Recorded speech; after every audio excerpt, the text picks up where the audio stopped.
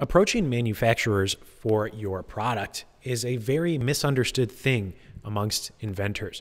So I really just want to cut through the BS and, and really help you understand this ecosystem so that you don't get ignored by manufacturers, so you don't get confused and bamboozled and left high and dry, which is what happens to most people. So, first of all, what you have to understand when you are trying to launch an invention is that what you've got is not cookie cutter, it's not the same as anything else. It's going to be made from scratch, it's custom, right? And the type of manufacturing you should probably be looking into is called contract manufacturing.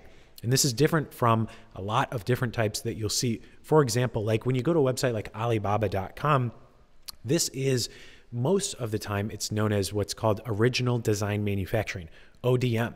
So this is really popular with private labeling and white labeling, which is where you take an existing product and you just make a few minor tweaks, right? You're not developing a true invention, something that's really unique and new when you work with one of these manufacturers on Alibaba, for example. So the process of working with a manufacturer is different from ODM to contract manufacturing. Very different process. And one major mistake I see people making all the time is they they approach these manufacturers like like a business partner or something. Like these manufacturers are going to go in the game with you and and get paid based on a, some sort of percentage or or you know they're going to help you market it and sell the product. No, that's not what contract manufacturers want to do. They want to make parts and get paid to do that, right? That is a very, very simple and straightforward relationship. They're not looking to be your business partner or your investor or anything else. They want to get paid for the tooling and then they want to get paid on the per unit basis, right? So don't insult these people by by asking them to pay for the tooling up front and then uh, you know only make money once you're starting to make a profit. That's not at all what they're trying to do.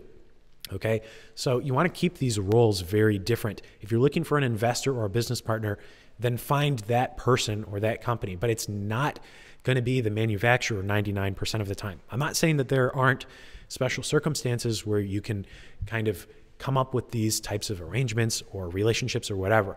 But again, what happens with most inventors, I, it seems to be the case, is that they'll tell me, well, I was reaching out to manufacturers and nobody's responding to my emails. They're all ignoring me. Well, did you give them anything that they can even respond to? A, a contract manufacturer, they want to have the design like already done or very, very close to being done right? Like you hand over the 3D models and the drawings, and then they produce it. Now, some contract manufacturers do have engineers on staff uh, and designers, but it's not typically their strong suit. Okay, uh, I'm, I'm not trying to tell you like it has to be one way or another, but I am speaking in generalities and saying that typically when you're going to work with a contract manufacturer for a custom product, it should be pretty well defined, right? They can help you get it that last five or 10%, but you shouldn't expect them to just make the whole product from scratch unless that's something that they are specifically advertising. Like we can take you from idea through prototyping through and manufacturing and we're going to do all that stuff for you like as a turnkey solution.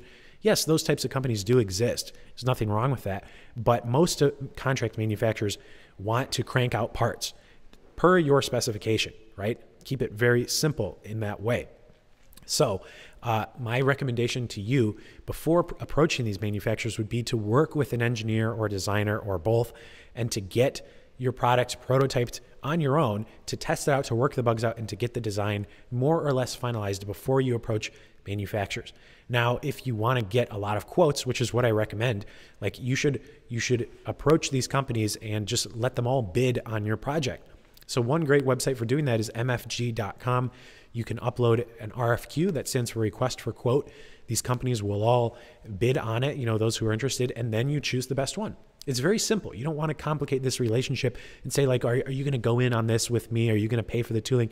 No, they don't want to do that. They just want to make parts. So, you know, just a quick video to help give you some free advice, get you on track if you're an inventor and you don't really know why people are ignoring you, why manufacturers aren't responding to your emails.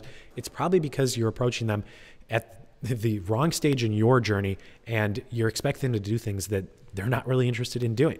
So uh, if you want to learn more, you can check out my website, brainchildengineering.com. My name is Dan Engerer, and uh, feel free to book a call with us.